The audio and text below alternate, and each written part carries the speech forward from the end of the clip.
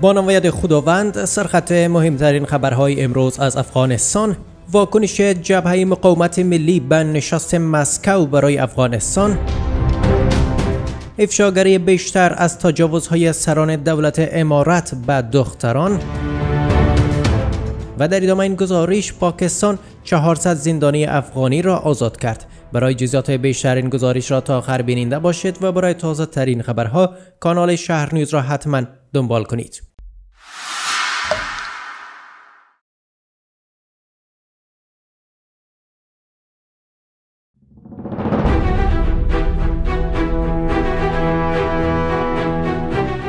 وبسایت خبری اندپندنت فارسی نوشته است که جبهه مقاومت ملی می‌گوید نشست مسکو فرصت خوبی برای رسیدگی به اوضاع افغانستان است. در حالی که قرار است چهارشنبه 16 نوامبر نشست مشورتی مسکو درباره افغانستان برگزار شود جبهه مقاومت ملی از این برگزاری استقبال کرده و آن را فرصت مناسب برای دیپلماسی منطقه است. این جبهه در بیانیه‌ای که روز دوشنبه 14 نوامبر منتشر کرد با ابراز نگرانی از اوضاع افغانستان نوشته است که نشست مشورتی مسکو درباره افغانستان فرصتی است که به بحران امنیتی، سیاسی، اجتماعی، اقتصادی و حقوق بشری مردم افغانستان زیر سلطه طالبان رسیدگی شود. جبهه مقاومت ملی می‌گوید که همکاری های نزدیک میان کشورهای منطقه و متحدان بین المللی می تواند راه را برای صلح، امنیت، رفاه و توسعه پایدار هموار کند. در بیانیه جبهه مقاومت ملی آمده است که در 15 آگوست سال 2021 میلادی که طالبان بر افغانستان مسلط شدند، این کشور به مرکز تروریسم منطقه‌ای و جهانی مبدل شده است که کشورهای همسایه منطقه و جهان را تهدید می کند. در این بیانیه نیز افزوده شده است که در یک سال گذشته کشت تریاک و قاچاق هروئین و دیگر جنایت‌های سازمان یافته افزایش یافته است. نظام حکومتداری از هم پاشیده است و طالبان که زیر تحریم های سازمان ملل متحد قرار دارند به نقض جدی حقوق بشر متهم هستند مردم افغانستان را در همین حالت گروگان گرفتند جبهه مقاومت ملی می‌گوید که آماده ایفای نقش کلیدی در روند احیای جایگاه واقعی افغانستان در جامعه جهانی می باشد. جبهه مقاومت ملی افغانستان را قلب آسیا می داند و می‌گوید که ثبات در افغانستان به نفع کشورهای منطقه است. چهارمین نشست مشورتی مسکو درباره افغانستان قرار است که روز 16 نوامبر در مسکو برگزار شود. در این نشست نمایندگان کشورهای پاکستان، ایران، تاجیکستان، ازبکستان، ترکمنستان، چین، روسیه، هند، قزاقستان و قرقیزستان حضور خواهند داشت. باید افزود که هیچ نماینده از طالبان برای حضور در این نشست دعوت نشده است. زمیر کابلوف پیشتر اعلام کرده بود که طالبان را به این نشست دعوت نکردند. اما طالبان گفته است که این نشست بدون حضور نماینده طالبان ناقض می باشد. در نشست مشورتی مسکو درباره افغانستان که در نوامبر سال 2021 در مسکو برگزار شد، عبدالسلام حنفی معاون نخست وزیر طالبان نیز دعوت شده بود. تشکیل یک حکومت همشمول مهمترین موضوع نشست مشورتی مسکو در سال 2001 میلادی بود.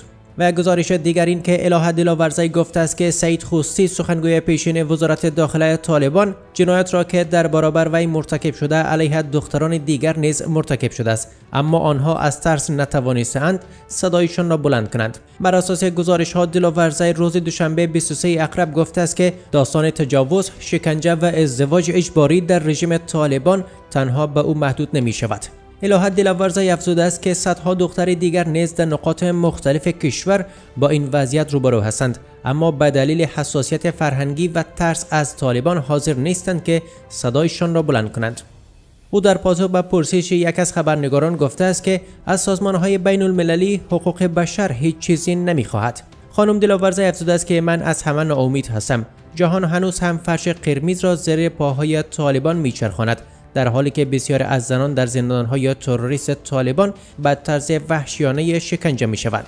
باید افزود بر اساس گزارش ها خانم دلاورزی در همان ماهی که از جنایت سعید خوسی در برابر خودش یاد کرد با پوشیدن لباس های مردانه از محل سکونت خود گریخته و سرانجام موفق شده است که کشور را ترک کند بانو دلاورزی گفته است که با که از افغانستان به یک از کشورهای همسایه فرار کرده است اما خبر دارد که طالبان هنوز او را تعقیب می کند او همچنان افزود که هنوز در تر زندگی می کند و از این بابت که ممکن است حامیان طالبان در کشورهای همسایه نیز به او آسیب برساند نگران است. الهه دلاورزی دختر یک از جنرال های امنیت ملی پیشین است که اوایل امسال به اجبار به ازدواج سعید خوسی سخنگوی آن وقت وزارت داخلی طالبان درآمد و مدت بعد از شکنجه و تجاوز جنسی توسط سعید خوسی حکایت کرد. داستان دلاورزی در حالی روایت می کند که در مدت بیش از یک سال سلطه طالبان بر افغانستان زنان از بسیاری حقوقشان از جمله حق کار، حق انتخاب پوشش، حق آموزش، حق رفتن به پارک ها، حق رفتن به حمام های عمومی،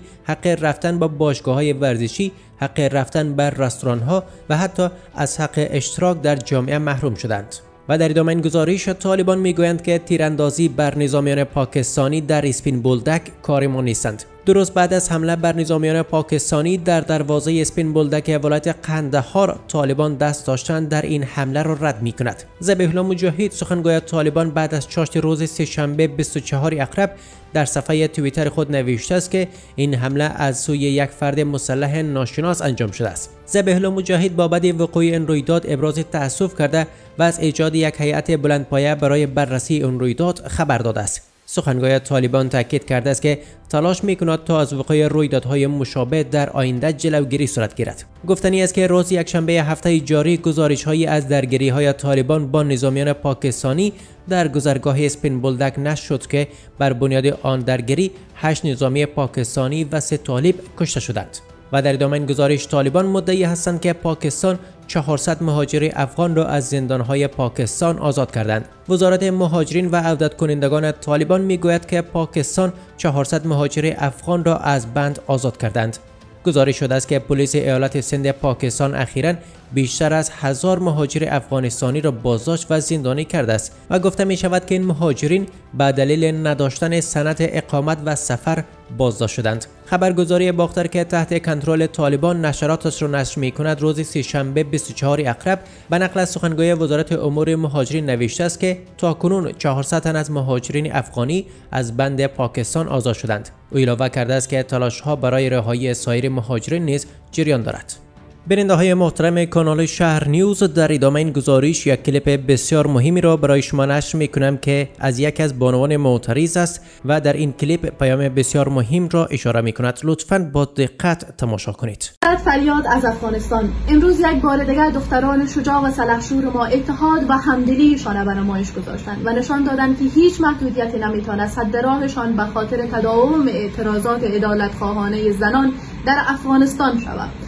صد زن با قلم خود در رنج مشقت و بحران و بربریتی که توسط گروه تروریستی طالب بر سر مردم افغانستان جریان داره را با قلم خود نوشتند و به شورای امنیت ارسال کردند. ما امیدوار هستیم که این کمپاین کارزار نتیجه بخش باشد و دعوت میدیم برای تمام هموطنان ما که در این کمپاین بپیوندند.